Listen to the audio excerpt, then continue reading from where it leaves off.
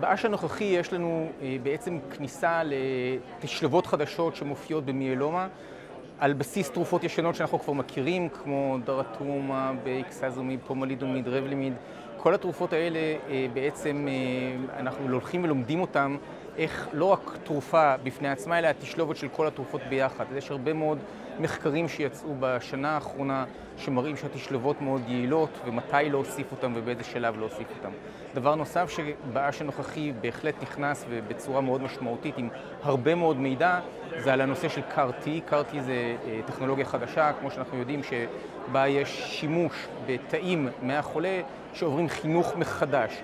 זה לא קיים בארץ עדיין, זה קיים בעולם במחקרים בלבד, אבל אנחנו כבר הולכים ולומדים מי זה החולים שיהיו מתאימים לדבר הזה ואיך להשתמש בזה, איך להבין את המגבלות של זה. יש הרבה מאוד מידע בעניין שהולך וגובר בתחום.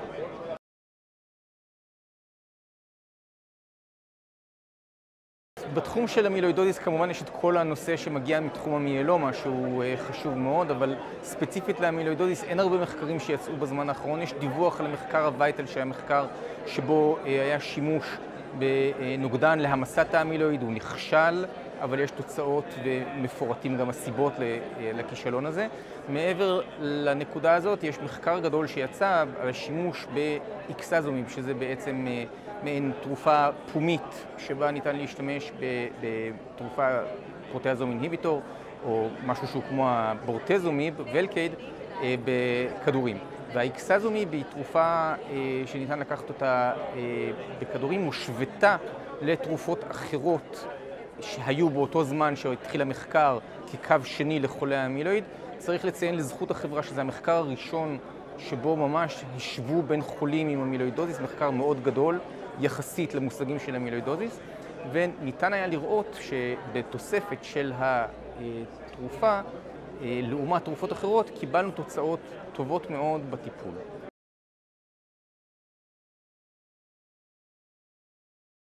אז המחקר לקח בעצם את האקסזומיב והשווה אותו לטיפולים המקובלים. הטיפולים המקובלים באותה תקופה, בחולים שיש להם חזרה של מחלה, היו רבלימיד דקסמטזון, מלפלן ודקסמטזון, טלידומיד, ציקלופוספומיד, אלה היו האפשרויות, והחולים יכלו לקבל או את התרופה או את התרופה המשווה. והמחקר הראה, קודם כל, שהתרופה היא טובה, לפחות כמו התרופות האחרות.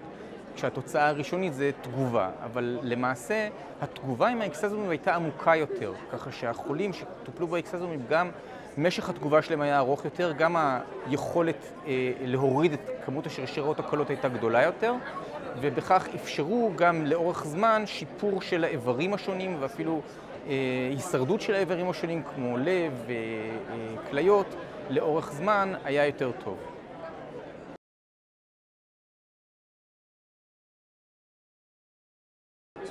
כן, אז רוב החולים השיגו במחקר את התגובה ההמטולוגית, כלומר הורדת השרשרות.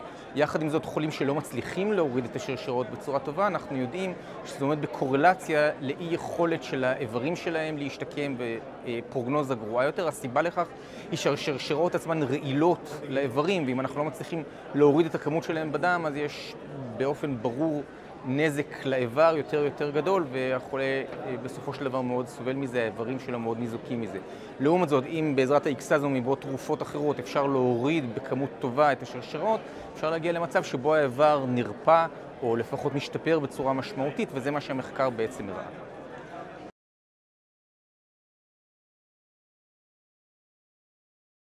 אז זאת שאלה מצוינת, מפני שיש לנו בעיה שהמחקר תוכנן לפני שבע שנים, ובמהלך השבע שנים האלה נכנסו תרופות חדשות וטכנולוגיות חדשות ותשלבות חדשות לעולם המיאלומה, ומשם לעולם המילואיד. במילים אחרות, אז היה רק רבלימיד ודקסמטזון, היום יש לנו דרטומה, בודרטומה עם רבלימיד ודקסמטזון. אנחנו לא יודעים עדיין ה...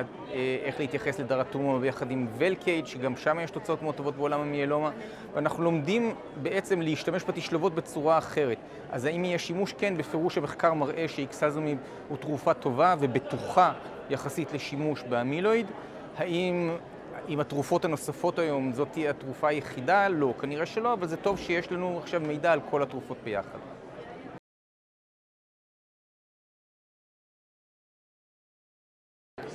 יחסית באמילואידוזיס השנה לא היה הרבה מידע על מחקרים פרה-קליניים, על שינויים פרה-קליניים. אנחנו מצפים אה, לכנס שיהיה בעוד כחצי שנה, ובו, בנושא האמילואיד, שבו אולי יוצגו נתונים חדשים, במיוחד על תרופות חדשות להעמסת האמילואיד, או תשלובות חדשות ישנות. כן היו דיווחים באש, כמו שציינו, גם על דרטומה בחולים, על תוצאות ארוכות טווח, ושהוא שומר על תוצאות ארוכות טווח לאורך זמן. אבל אין הרבה מידע דווקא בתחום המילואיד.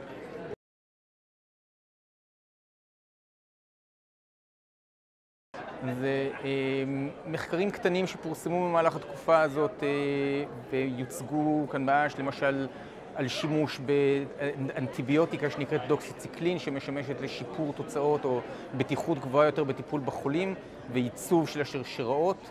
אה, יש מחקר סיני על לא מעט חולים שמראה את התוצאות בשימוש בחולים הללו טרם פורסם, אז אני לא יכול לספר את התוצאות, אבל בהחלט אה, אנחנו מצפים לראות האם יהיה כאן שיפור בתוצאות.